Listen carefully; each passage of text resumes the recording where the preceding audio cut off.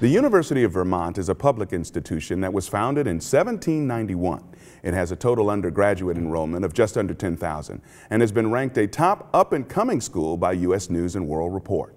I'm Eric Clemens for Comcast Newsmakers at Vermont College of Fine Arts in Montpelier. Tom Sullivan, president of UVM, joins us now. Tom, welcome to the program. Thank you very much, Great Eric. to have you with us. Now, keeping UVM accessible and affordable has always been one of your top priorities. Tell us about that process. It is indeed. Uh, in fact, uh, we have a strategic action plan, and the number one principle within that strategic action plan is affordability and financial access for our students.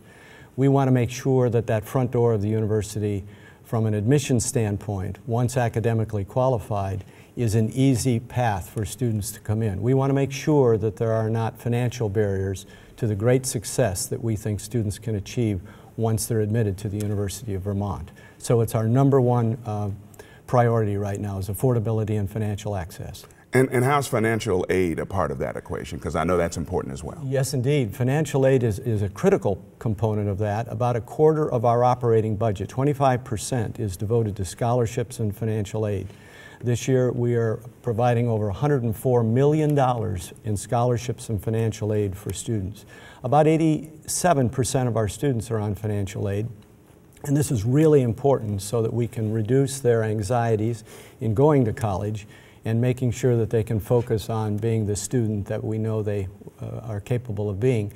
And um, we're very proud of the record that we're setting at the University of Vermont with regard to financial access so that they can be very successful on the journey through the four short years at the university as an undergraduate. You touched on this a little bit earlier in our conversation. Many schools focus on that front door policy, the admissions part yes. of it, but you have a little bit longer view. Tell us a bit about that. Yes, we really do. Our, our focus is on educating the total student. The um, focus academically is on critical thinking skills, problem solving skills, communication skills, the written and oral expression, and being able to work collaboratively with people. We think that's exactly what the real world uh, wants in our students, and we really do focus on that. We also focus on student learning outcomes.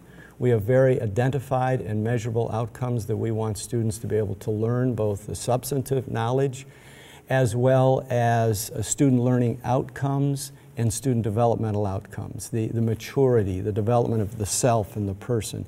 And very much more recently, we are focusing on integrating career counseling into the academic counseling so that from the student perspective, it's a rather seamless path from thinking about one's major and minor into how that may lead to an internship, a summer opportunity, or a co-op, and smoothly lead into being career and job ready when they graduate in four years. That's very much a, a priority of ours to integrate the academic with career counseling and readiness. You were one of the few privileged college presidents that had the opportunity to go to the White House to develop strategies on keeping colleges accessible and affordable. Tell us a little bit about your experience in D.C. Yes, in January, the President and the First Lady invited a number of presidents of colleges and universities and nonprofit and foundations to join them for a very serious conversation, a day and a half conference on uh, affordability and financial access, tying right back to our number one uh, priority at the university, and I think one of the reasons I probably was invited to the White House conference.